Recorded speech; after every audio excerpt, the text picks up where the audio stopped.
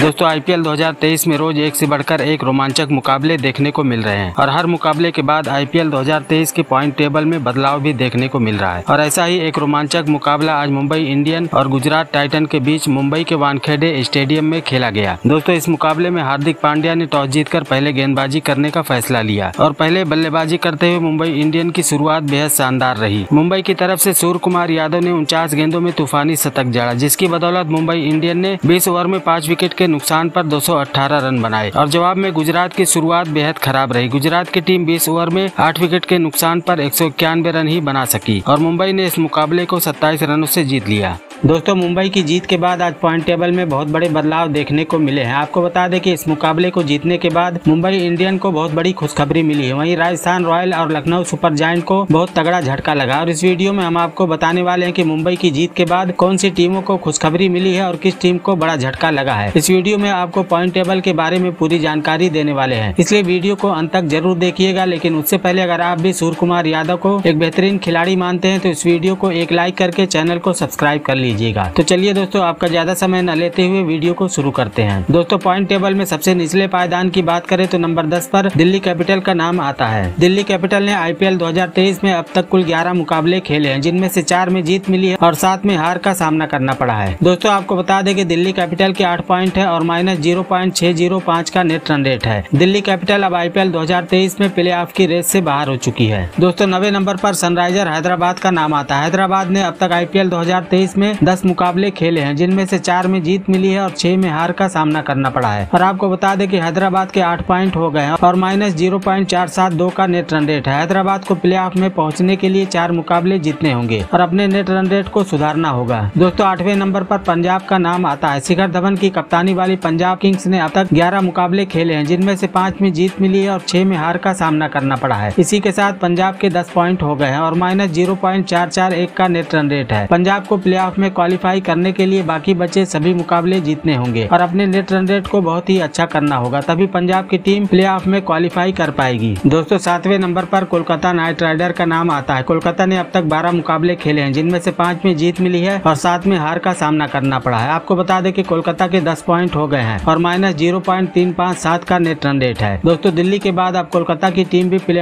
की रेस से बाहर हो चुकी है। दोस्तों नंबर छह पर आरसीबी का नाम आता है। रॉयल चैलेंजर बेंगलोर ने अब तक कुल ग्यारह मुकाबले खेले हैं, जिनमें से पाँच में जीत मिली है और छह में हार का सामना करना पड़ा है। इसी के साथ बेंगलोर के दस पॉइंट हो गए और net run rate minus zero point तीन चार पाँच है। बेंगलोर को प्ले ऑफ़ में क्वालिफाई करने के लिए अब बाकी बचे तीनों मुकाबले जीतना होगा और अपने नेट रन रेट को बहुत ज़्यादा बेहतर करना होगा। तभी आरसीबी की टीम प्ले में क्वालिफाई कर पाएगी। दोस्तों, नंबर पाँच पर लखनऊ सुपर ज्वाइंट का नाम आता है। लखनऊ ने अब तक ग्यारह मुकाबले खेले हैं, जिनमें से पाँच में जीत मिली है और पाँच में हार का सामना करना पड़ा है। इसी के साथ लखनऊ के ग्यारह पॉइंट हो गए और net run rate zero point दो नौ चार है। लखनऊ को प्ले में पहुँचने के लिए तीन मुकाबले और जीतना होगा। दोस्तों, नंबर चार पर राजस्थान रॉयल का नाम आता है। राजस्थान रॉयल ने अब तक कुल बारह मुकाबले खेले हैं, जिनमें से छह में जीत मिली और छह में हार का सामना करना पड़ा। आपको बता दें कि इसी के साथ राजस्थान के बारह पॉइंट हो गए और net run rate zero point छह तीन तीन है। राजस्थान को प्ले में पहुँचने के लिए तीन मुकाबले जीतने होंगे। दोस्तों, आज का मुकाबला जीतने के बाद मुंबई इंडियन को बड़ी खुशखबरी मिली है। मुंबई इंडियन की टीम अब पॉइंट टेबल में तीसरे नंबर पर पहुँच गई है। मुंबई इंडियन ने अब तक बारह मुकाबले खेले हैं, जिनमें से सात में जीत मिली है और पाँच में हार का सामना करना पड़ा है। इसी के साथ मुंबई के चौदह पॉइंट हो गया। मुंबई को प्ले में क्वालिफाई करने के लिए अब एक मुकाबला और जीतना होगा। दोस्तों, नंबर दो पर महेंद्र सिंह धोनी की कप्तानी वाली चेन्नई सुपर किंग का नाम आता है। चेन्नई सुपर किंग ने आईपीएल 2023 में अब तक 12 मुकाबले खेले हैं, जिनमें से सात में जीत मिली और चार में हार का सामना करना पड़ा। है बता दें कि चेन्नई सुपर किंग के कुल पंद्रह पॉइंट हो गए हैं और नेट रन रेट ज़ीरो